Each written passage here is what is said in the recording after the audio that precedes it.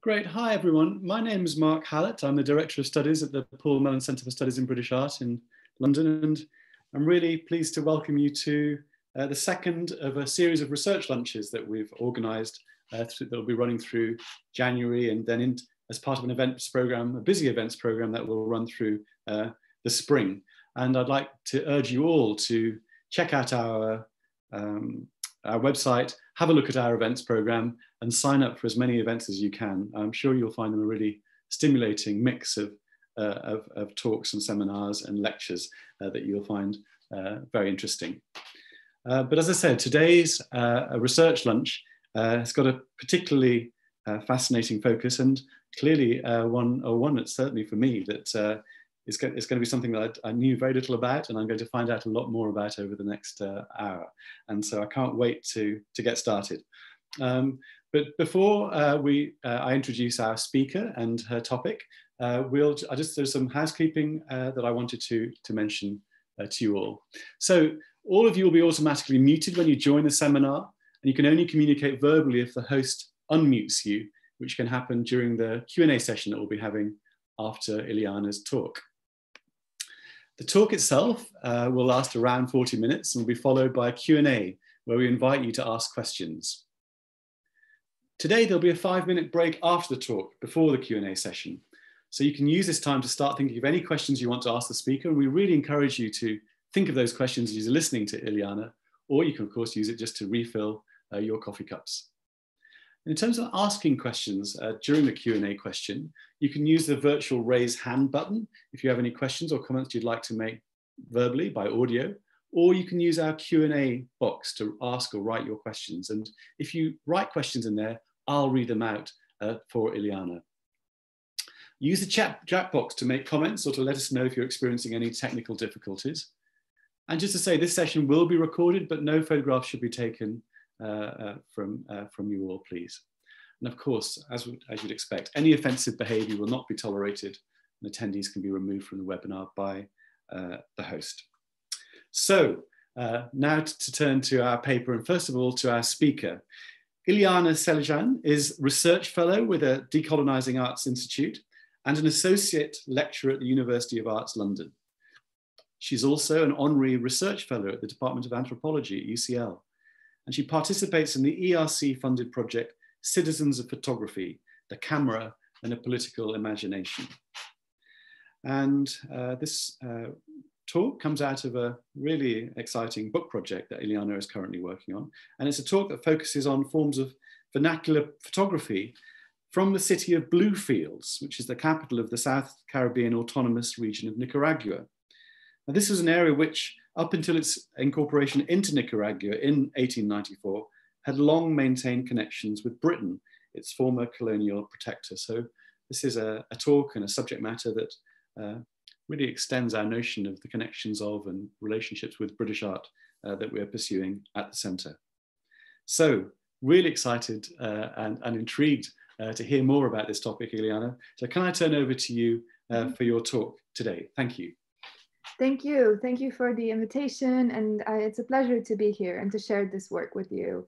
Um, so I'm just going to quickly share my screen. Okay, there we go. Can you can you just tell me if you can see my screen? Yes, that's fine. My first slide. Okay, perfect. Great.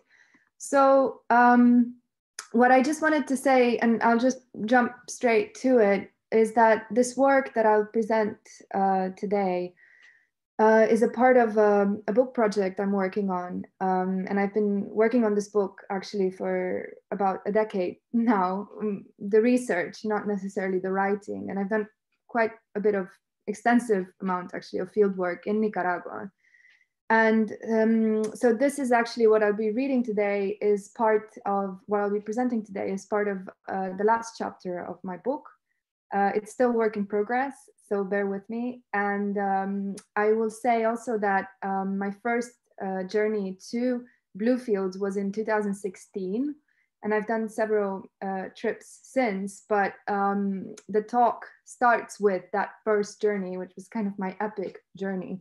And quite a few things have changed since, but um, just uh, for, for the sake of kind of the narrative, um, yeah, uh, I, I, I, I'm starting with that um, first journey. Okay, so, um, so um, yeah, I'll start. Let me just time myself actually, and that will help. Okay, great. So my journey to the Caribbean coast of Nicaragua takes me from Managua, the country's capital, to the small town of El Rama, a place of transit where many travelers, travelers stop to rest for the night. So here on this map, I'm showing you, so this is Nicaragua, this is the greater Central American re region by relation to the Caribbean. And my journey starts here in Managua, the capital, and then I'm heading towards Bluefields here, and Rama is somewhere around there. So all paved roads end here, and one can only travel, on, travel onwards by boat or plane. The region is vast, taking up about 57% of the national territory of Nicaragua. Nature is lush, resources are plentiful, yet a majority of the people living here are greatly disadvantaged.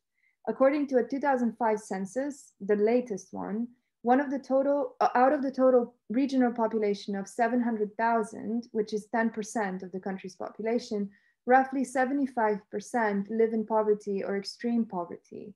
The estimate is 47% countrywide. Now, the reasons for the severe economic situations are manifold. First and foremost, current inhabitants are faced with the consequences of long-term unsustainable exploitation of natural resources, gold, minerals, wood, seafood, and agricultural products. Access to healthcare and education remains problematic, while the acute lack of infrastructure continues to create major setbacks.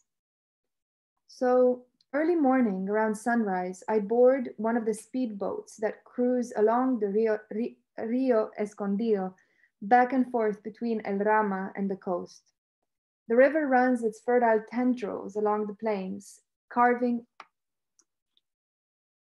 Uh, sorry, yeah, I, I, have my notes. I, okay, I'll start again.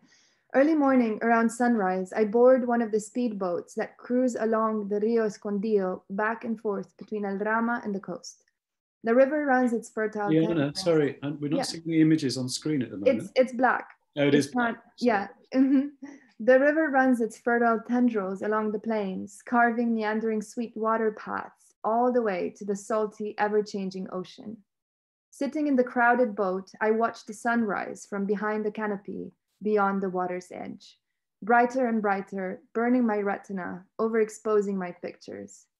My hand reaches out for shade, and I am reminded of a beautiful poem written by a costeño, an inhabitant of the coast, the Creole poet Rolando Roland Brooks in 1987. In a world of life and sorrows, he writes, tell me, who mourns forever? In a world of tears and laughter, Please tell me, who cries forever? In a world of light and darkness, please, please tell me, who is blind forever? It had to happen someday, that's all. Tiene que suceder algún día, eso es todo. It had to happen, Brooks tells me, a nod to the inevitability of history and the fragility of time, words imbued, however, by a sense of dignity and pride. So I reach Bluefields, the oldest and largest town on the Caribbean coast, former capital of the Miskito Kingdom, also referred to as the Mosquito Kingdom, and current administrative capital of the South Caribbean Coast Autonomous Region.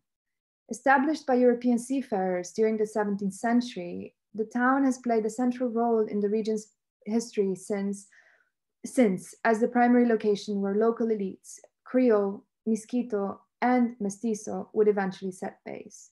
So uh, Miskitos are an indigenous um, group in Nicaragua, uh, although a mix, her- mixed heritage with people of African descent who came to the Caribbean coast of Nicaragua and Honduras.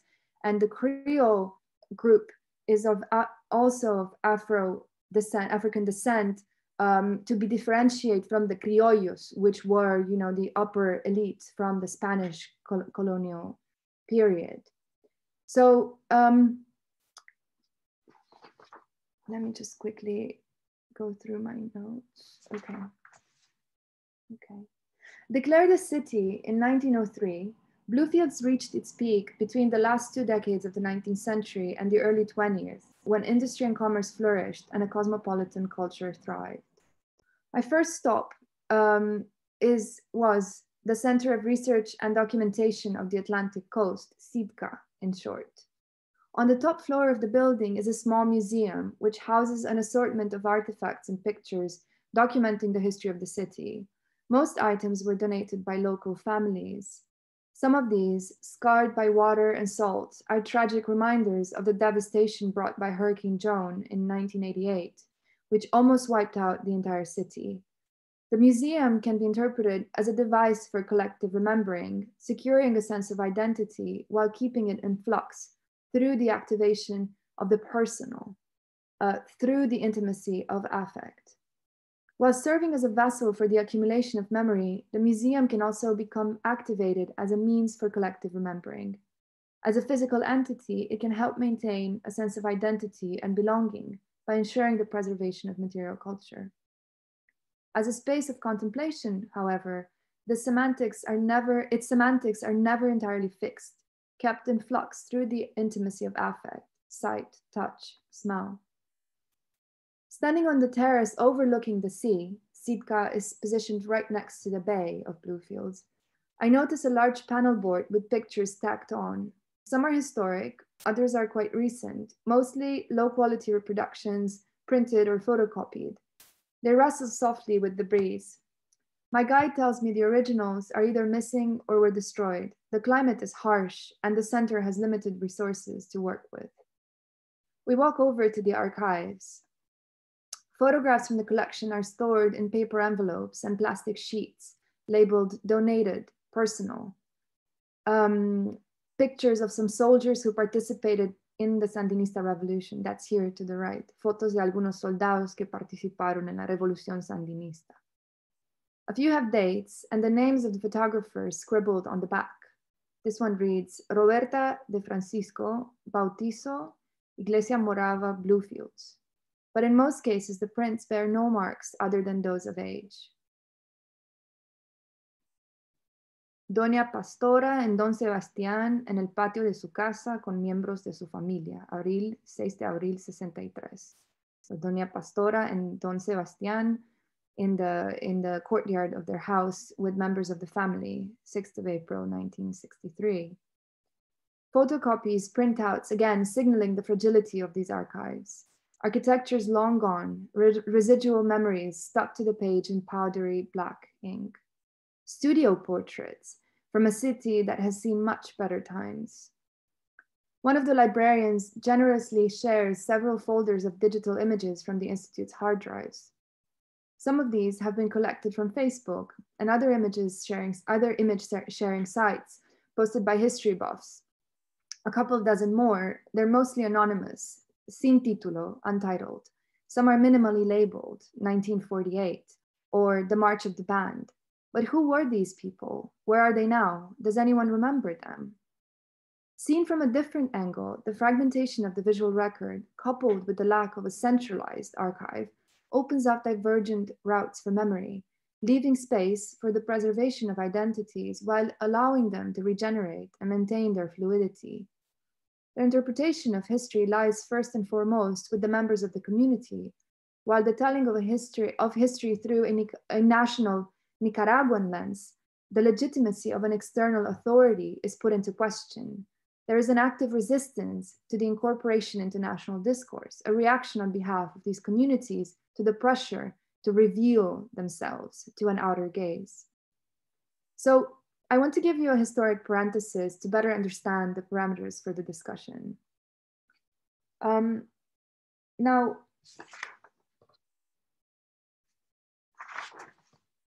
Sorry, my notes got reversed there.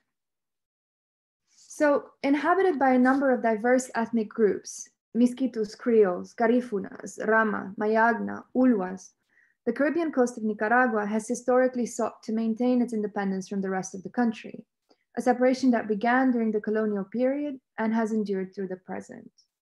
With Spanish colonists mostly concentrated on the Pacific coast, by the early to mid 17th century, the region gained strategic importance for the British and Dutch military, as well as for traders and pirates. Building alliances with indigenous communities within the Mosquito Kingdom, the British settled from Belize to Honduras and Nicaragua along the Mosquito Coast. During the 19th century, so the Mosquito Coast actually, at the time, um, uh, Honduras and Nicaragua, the borders uh, weren't established. They hadn't yet achieved independence from Spain, but the Mosquito, uh, the Mo Mosquito Coast uh, started more or less around here in Honduras and then went down all the way along what would be later the Nicaraguan coast. Um, so, um, okay, so during the 18th century, extraction, primarily of wood and production industries grew, uh, indigo, sugar, bananas, and large numbers of slave laborers, mostly African, were brought over from Jamaica. Expanding industry and trade drove several waves of migration around the mid 19th century from the US, from Europe, also from China and Syria, as well as from the West Indies, especially after the abolition of slavery in 1834. Apart from a brief period of Spanish control at the end of the 18th century, a British protectorate was intermittently in place until, until 1860, when all, territorial, all, all coastal territories were ceded to Nicaragua, now recognized as a de facto sovereign nation. The Mosquito, Mosquito Kingdom was confined to a relatively small area around the town of Bluefields, which was ruled by Creole elites. However, La Mosquitia, the Mosquito Coast, was granted and guaranteed continuous autonomous status.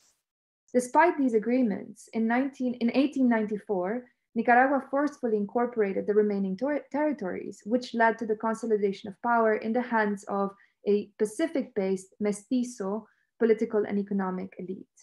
So this is a bit of a, uh, you know, very kind of intricate history, piece of history, and I can go over it uh, later if you want me to explain more. But what I'm showing you here are two photographs that I found in an archive on the Pacific coast, actually in Managua, that are, are amongst the earliest pictures I've seen from Bluefields. And you can actually see on the left um, uh, the, the palace of the Mosquito uh, king uh, and the kind of the center of governance, uh, which uh, was later destroyed. And on the right, you can see a picture of the Bay of Bluefields, what it looked like uh, towards the end of the 19th century, um, taken by Sequeira and brothers um, maybe a photo studio that was based in Bluefields, but I, I haven't been able to trace that yet. Okay, so during the modern period, um, so roughly 1890 to the 1960s, in the power vacuum that was created by the British withdrawal, withdrawal, economic ties with the US proliferated and multinational companies thrived on the coast.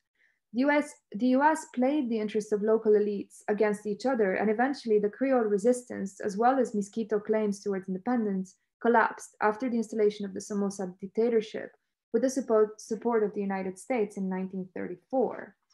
Um, now, the period of prolonged, this period of prolonged oppression uh, deepened economic disparities throughout the country and affected the Caribbean coast tremendously as exploitation continued unhinged and undeterred. And now I'm kind of skipping ahead um, to the Sandinista revolution. Um, after the revolution uh, of 78 79, which succeeded in toppling the Somoza dictatorship, Sandinista leaders appealed to the coastal populations in an effort to unite the country under the revolutionary flag. As the 1980s progressed, however, despite major democratizing efforts and many social reforms, reforms that were underway, on the basis of historic differences, frictions between local leaders and the Sandinistas escalated into armed conflict. Some of you might be familiar with the Contra War. From a cult cultural standpoint, there were further complications. As historian Deborah Robb Taylor has argued, and I quote, the Sandinista revolution arrived in the East with a mestizo face. Um, end quote. The Nicaraguan government eventually agreed to grant the Caribbean coast autonomy status in 1987.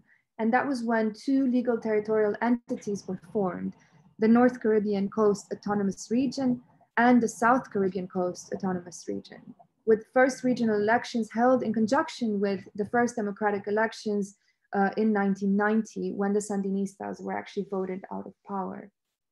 Now, not surprisingly, These massive conflicts of interest, fueled by the entrenched disempowerment of indigenous and Afro-descendant groups along the coast, had a profound, long-lasting impact on cultural life in the region.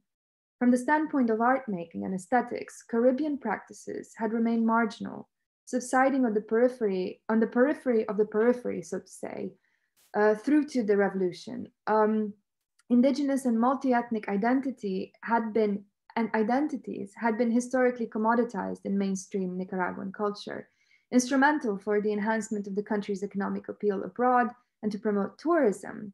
The Sandinistas, on the other hand, sought to substantiate their own political demands, partly through uh, indigenista discourses. So this is something that goes back to the 19th century throughout Latin America.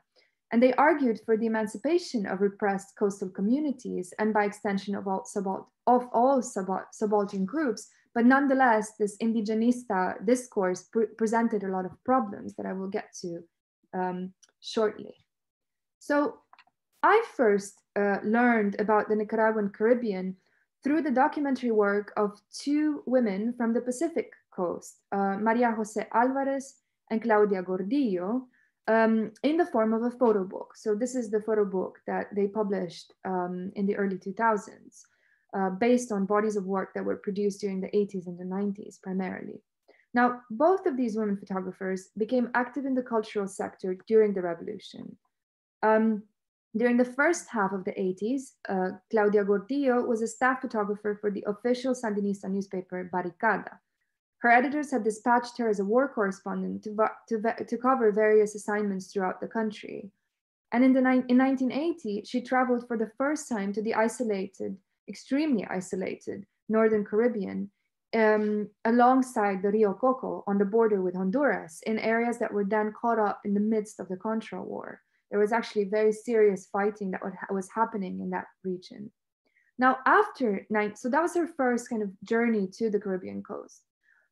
But later, um, especially after 1984, when she stopped working for Barricada, she took up a post as a staff photographer and member of CIDCA, so this invest, the, Cent the Center for Research and Documentation of the Atlantic Coast, where I first went uh, upon my first visit to Bluefields.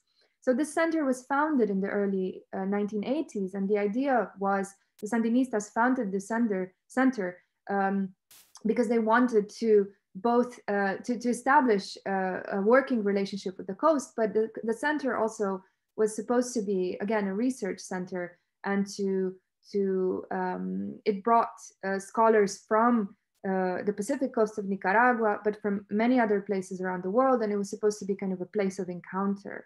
Um, so, um, so after 1984, Gordillo served as staff photographer and member of CIDCA, uh, working with a team of anthropologists, she was tasked to document communities living along Nicaragua's Caribbean coast. And here I'm only showing you pictures from Bluefields because that is kind of my focus, but her body of work is much more extensive.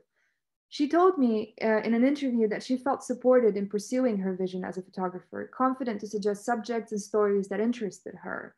In effect, she worked as a visual researcher, being able to move with relative ease along the coast and with logistical support from the center other photographers um, so this is another this is a page another page from the book and i actually don't have um, a scan of this picture but i find it really beautiful. So this is also a picture from bluefield taken by the other photographer i'll talk about um, uh, just now maria jose alvarez. So um, maria jose alvarez um, was one also one of the photographers who worked for CIDCA she received commissions from them, but she also worked independently. Um, and she was a filmmaker, and um, she she began her career um, at the Nicaraguan Film Institute INCINE, that was founded uh, immediately after the revolution in 1979. And she started working on producing newsreels and documentary shorts in support of the revolution. However, she re relocated to Bluefields in 1984, from where she likewise immersed herself into lengthy documentary projects and community work. Um, and I'm showing you here just like three of her photographs uh, taken throughout this long period from the early 80s until uh, the 90s when she um, became very, very involved in uh, the region uh, she married a local political leader and she ended up producing this significant, substantial body of documentary work um, about Bluefields and um, the entire region, really. So, um, yeah, so I guess what I want to convey is that both photographers initiated long-term projects during this period, which continued throughout the 1990s. And in retrospect, given the greater sociological focus of the work, the revolution, um, which was the pretext for the start of this work, becomes somewhat of a marginal subject, just one of the many issues that preoccupied the inhabitants of the coast, whether they were Creole, Miskitu, Mayagna, or Rama at the time. I also want to say, so in the focus in their focus on portraiture, Maria Jose Alvarez and Claudia Gordillo, um, uh, in the focus of, on portraiture, as well as on an in-depth documentation of cultural practices and everyday life in these communities, they contributed to fundamentally altering the exoticized perspectives through which rural and indigenous subjects had been historically portrayed in Nicaragua. Um, first through a colonial lens and also through these more recent forms of indigenismo the Sandinistas were highly interested in producing visual imagery of the coast. This, like I said, was is, an, is a significant portion of the Nicaraguan territory. And the Sandinista came with this kind of um, idealism about kind of uniting the country under uh, the banner of revolution. Um, so they were very interested in producing visual imagery of the coast and to present it in the various party-supported publications and cultural supplements. Wani was a multicultural, multilingual publication produced by CIDCA, the Center for Research in Bluefields, starting in 1984, and was the only Sandinista magazine dedicated exclusively to the coast. They published documentary photography, portraits, and types of pictures that might loosely fit under the rubric of ethnographic documentation of everyday life and customs.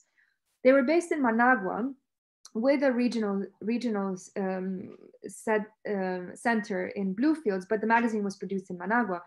And they were focused on regional issues and, very importantly, integration, openly promoting the party's agenda.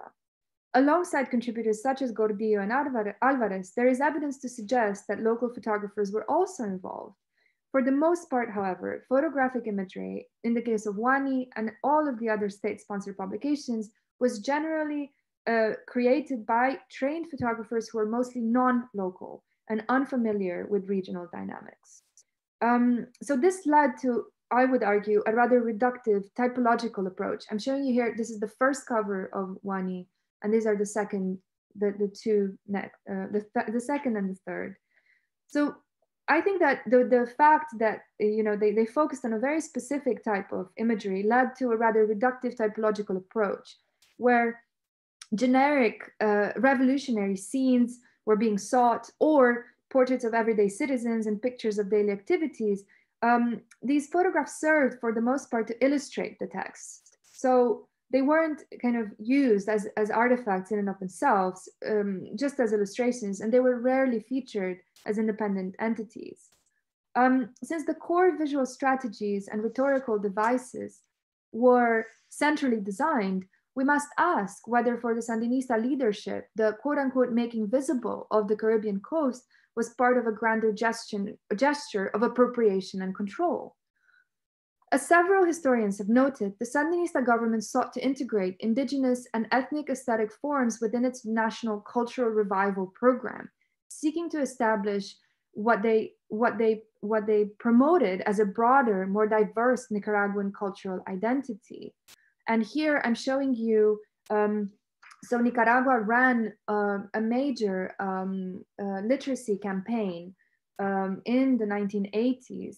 And then in 1981, uh, it, it, expanded that campaign even further uh, into the coast. The first campaign was criticized because it was exclusively in Spanish, and the second campaign included English, which is the language spoken um, primarily by the Creole population, and Miskitu, which is the language spoken primarily by uh, the Miskitu indigenous group, neglecting the other indigenous languages. But anyhow, this campaign for literacy, even though it was incredibly praised and incredibly successful at a central level and internationally, was actually quite criticized on the coast due to uh, what perceived as very kind of condescending views originating in the capital and on the Pacific coast of, of Nicaragua, uh, premised on kind of historic colonialism expressed from this kind of central government, Nicaraguan government. So a prevalent view, and I, I, I, picked this cover, which is for one of the workbooks used during the literacy campaign, because I think it just kind of speaks to this exoticism, uh, the way in which the, the coast is perceived as this very exotic uh, territory. Uh, the, the two figures with, you know, books open in this in this uh, tropical kind of overbearingly tropical landscape with that boat kind of on the horizon uh, sign of modernity. Um, and actually that boat is probably uh, symbolizing one of the boats that was used to kind of carry the the teachers who were uh, part of this campaign and who who traveled uh, to quite remote regions along the coast. But anyhow okay so a prevalent view uh, among scholars has been that the Sandinistas sought to overcome the so-called myth of mestizaje uh, that was prevalent during previous decades and which was premised upon the existence of primarily coextensive identities from the Pacific coast, where um, indigenous populations uh, and Afro-descendant populations had been more or less um, uh, assimilated into the general population, while marginalizing indigenous and Afro-descendant cultures from the coast. So this whole myth of mestizaje was kind of at the center of cultural politics during the Sandinista period, because many uh, dissenting voices from the coast were again arguing that this was an imposition uh, to, to, to further kind of uh, assimilate the populations on the coast, which had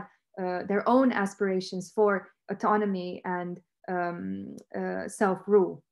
Okay, so post revolutionary Nicaragua accommodated two variant uh, indigenous identities. One that was premised upon a relation with the pre-Columbian past, which is sought to recuperate, so kind of classic indigenista trope, and another that sought points of connection to contemporary indigenous and ethnic groups and their cultural practices. Both directions, that said, both directions summoned and transported indigenista fantasies, and neither was entirely capable of sustaining the dialogical, multi-ethnic, decentralized pluralism that Nicaragua's leading cultural figures had hoped to achieve. Caribbean communities that were encouraged to participate and engage in dialogue often withdrew, preferring to maintain an independent agenda. Therefore, an important distinction is to be made between the rhetoric and intentions of the cultural ministry and its associated institutions, and the extent to which their proposed course of action actually succeeded in practice as the decade progressed. Okay.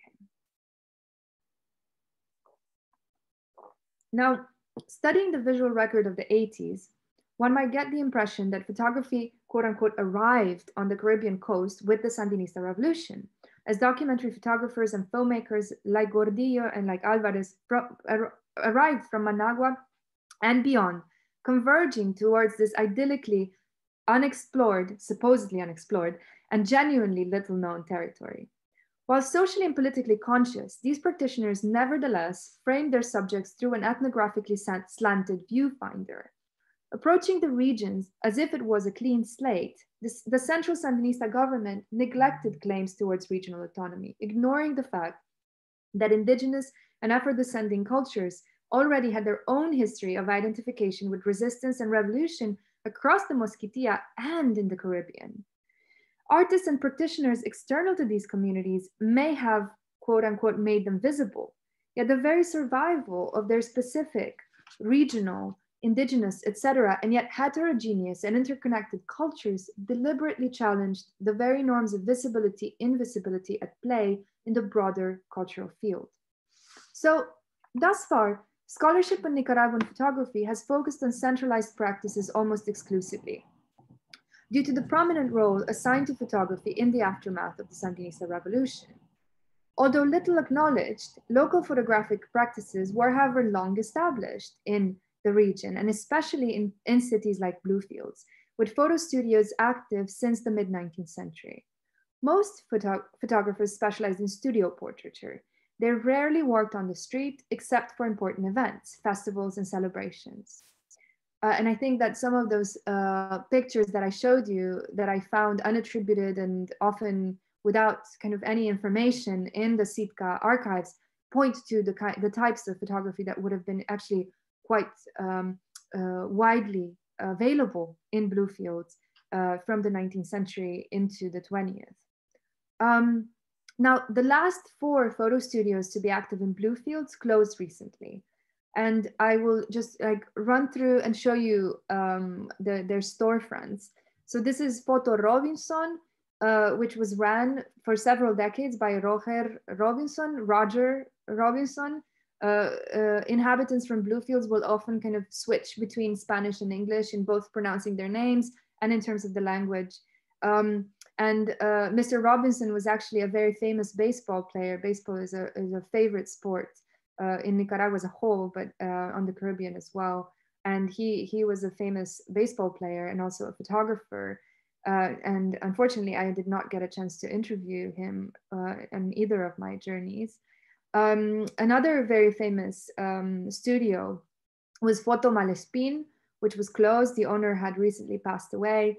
And here I'm just showing you a photograph of the street front uh, right in front of the shop.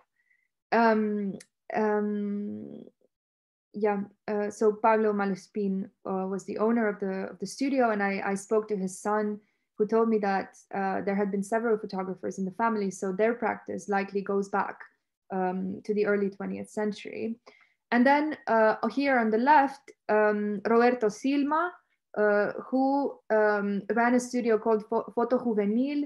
He did not have any archives um, of any kind.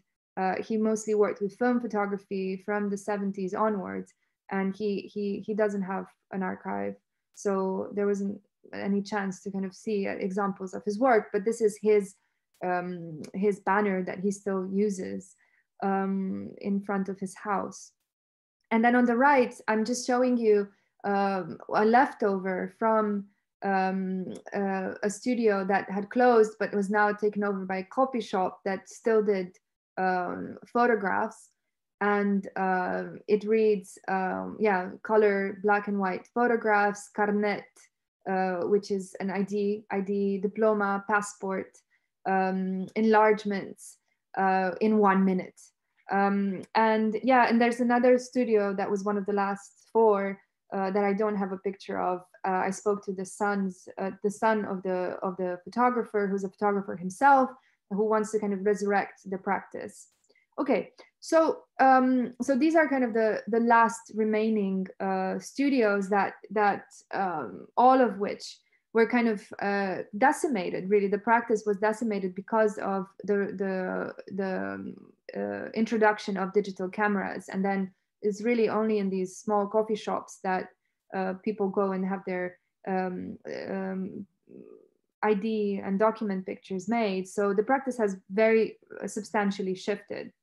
So this is kind of where I get to in, in, to, to the end of my talk and the looser part of my talk, where this is the research that I started doing um, in 2016, and then I continued in different trips until 2018 when there was a significant um, um, anti-governmental protest in Managua that spread rapidly around the country. And Nicaragua has been in a very severe political, social, economic uh, crisis since. Uh, Bluefields was also one of the cities that was most deeply affected by that political crisis. And now with COVID, um, it will be a, a matter of time. I don't know when I'll be able to return and resume this research. But what I what kind of the where I want to end is that I think that even though uh, very little photographic material had survived has survived to document the history of this important regional center, um, not least because of the destruction of um, Hurricane Joan in 1988.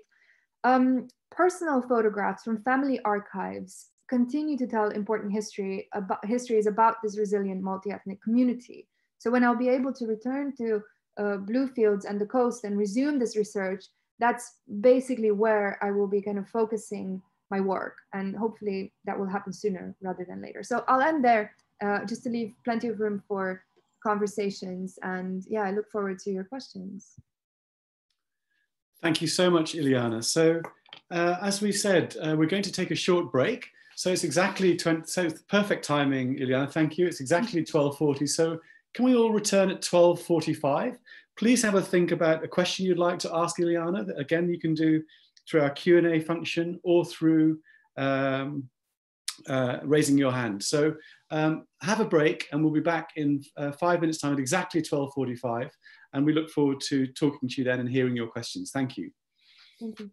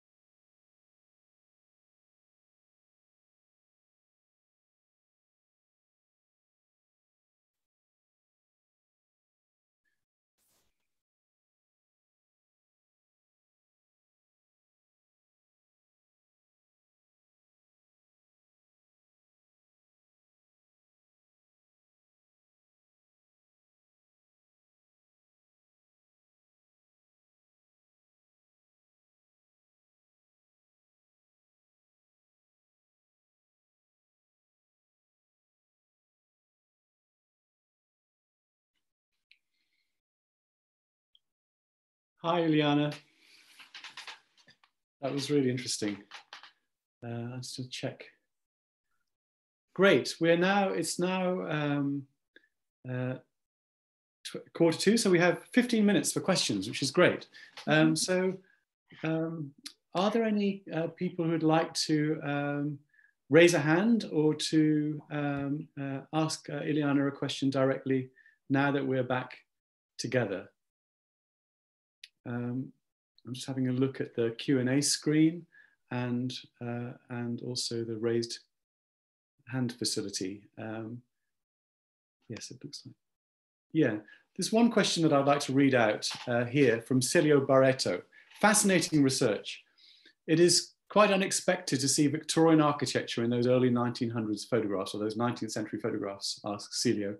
What are the attitudes towards the British that you managed to pick up in uh, the imagery or the histories uh, that you've been uh, exploring?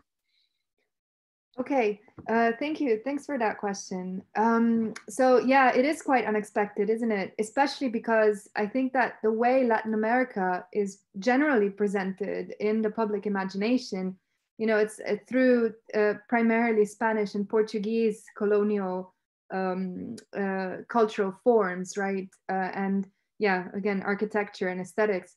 So uh, it, I think like this is something that a lot of people say you know that when you first travel to the coast it feels like you're in a completely different country and it's not actually nicaragua.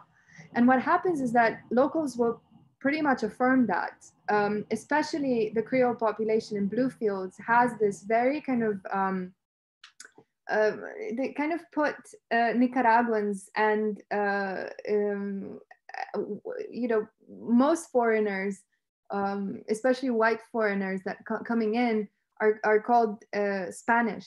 So they, and they're kind of put at an arm's length. So actually what, what becomes quite quickly evident is that to date, um, primarily the Afro-descendant population um, sees itself as belonging to kind of a greater Caribbean imaginary uh, and culturally belonging to that area. And by relation to that, to the kind of uh, UK, US uh, diasporic, Black diasporic communities. So um, I think that this architecture that uh, shows up in some of these photographs, very little of which was preserved. Really, Hurricane Joan that I mentioned was an absolute tragedy because up until then, surprising amounts uh, of this architecture were preserved. It's all wood, and um, Bluefields had kind of several uh, devastating fires, but nonetheless, a very, very significant amount of historic 19th century architecture was preserved. And then Hurricane Joan uh, just leveled the city. It basically leveled the coast. Nonetheless, some, some of this architecture still survives and people do regard it as a kind of a, a, a evidence of their connection to this kind of greater diasporic community uh, from uh, the greater Caribbean region, but again, by relation to the UK and the US. And Interestingly, um, some people, including local historians, will speak about the role that the British had, despite having very kind of uh, clear colonial interests in the region. They speak about the role the British had in kind of protecting them, both from Spain and from the interests of uh, the Nicaraguan central government once um, independence was achieved in 1821 and 1824. Yeah. Thank you very much. A couple of other questions. Um, a question from Adriana Ario, who's mm. asked really saying that uh, they're new to your work, uh, which mm. they find really wonderful and interesting. Do you have a personal connection to this region? And, and some, Adriana is very interested in how your interest in this area started. Yeah, so I've been doing research uh, in Nicaragua uh, for about 10 years now. And it's become a very important um, um, place for me. Uh, it's kind of a second home um, I'm originally from Romania, so I, I, I, don't. There's not really enough time to explain how.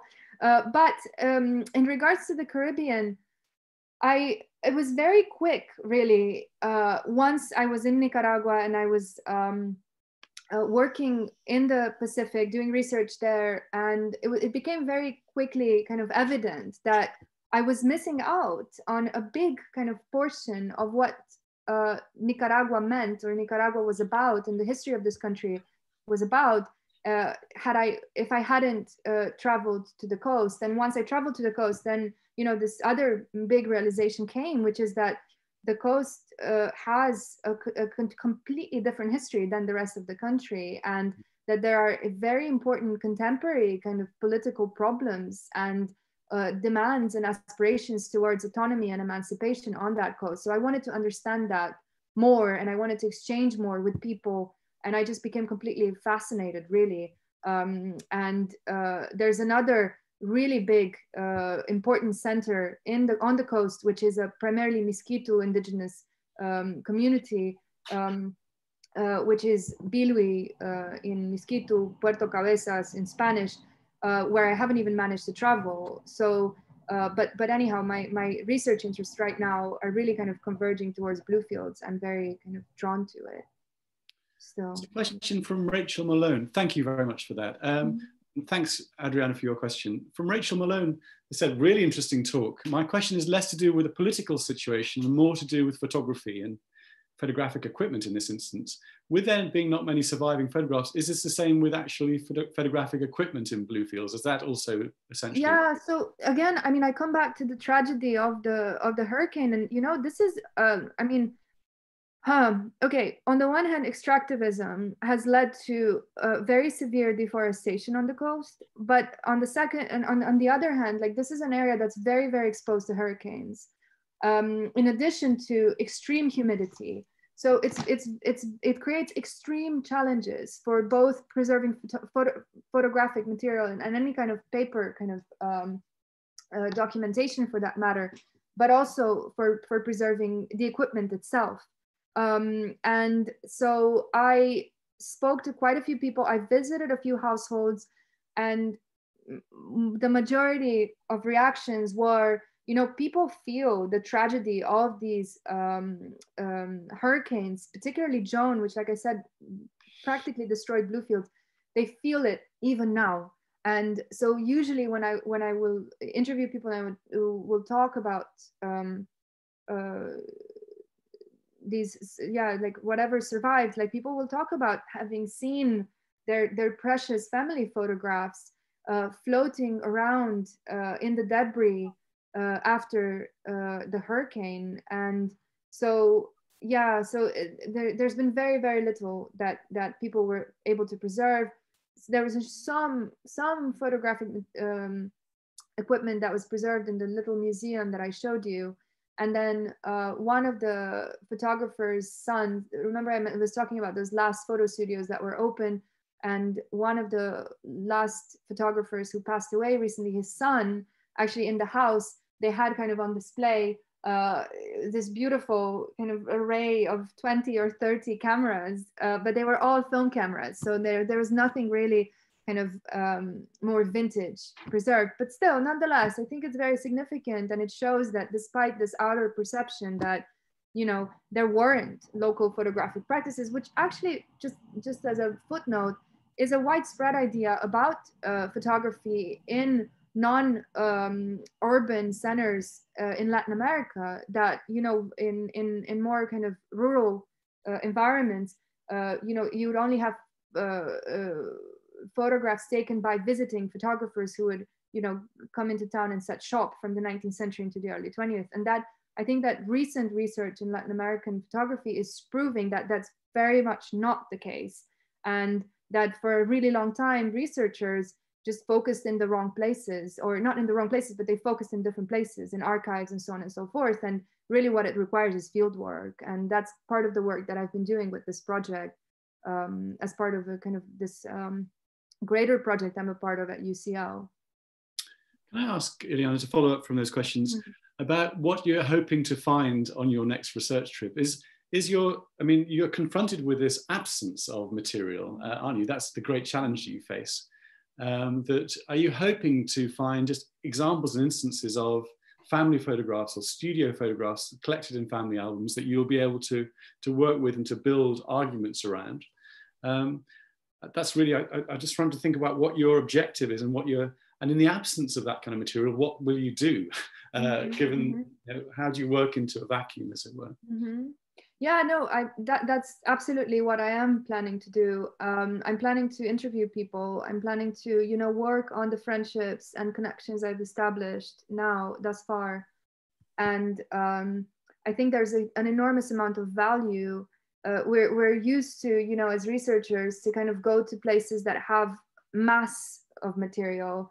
But uh, really you know i kind of i'm thinking to colleagues who are working in say medieval studies or uh, even Renaissance studies who will, will go on like this this huge kind of uh, journey to locate just one document or just one page or just one illustration or just one drawing right? So i feel like there's enormous value in the little that was preserved. It is being preserved with such care you know and it's guarded with such care by people who have really who also have the stories around those images and around those photographs. And so what i'm planning to do is to um, again through the connections and the friendships that i've made to go back and to talk to people. I'll just give you a very small story.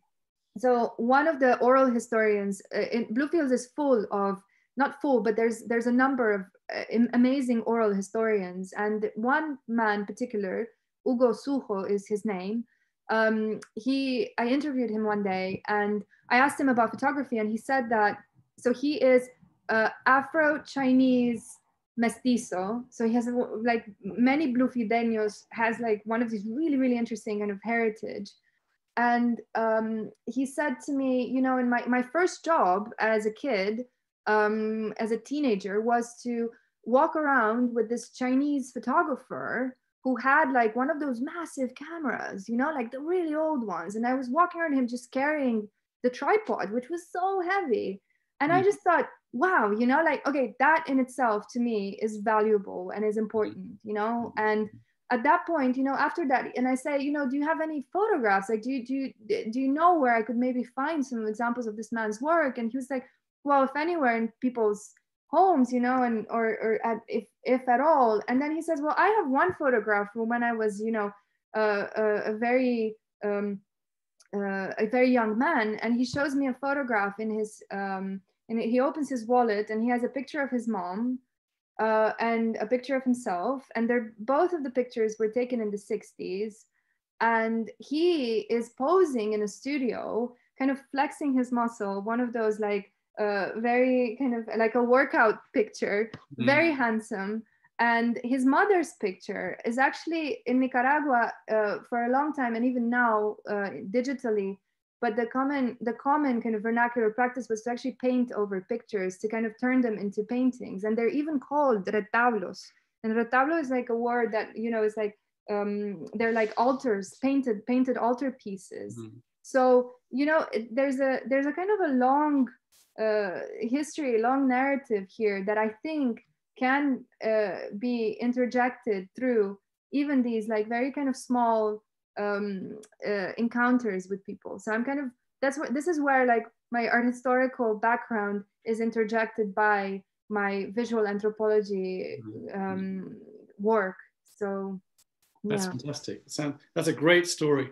I realize that we're pretty much uh, running out of time now. Um, uh, Ileana. So I think we'll need to bring things to an end. Mm-hmm. Um, but I just wanted to say, I think you've just introduced a whole world of imagery and of culture that uh, a number of us will uh, have found entirely uh, new and I think all of us will have found really fascinating.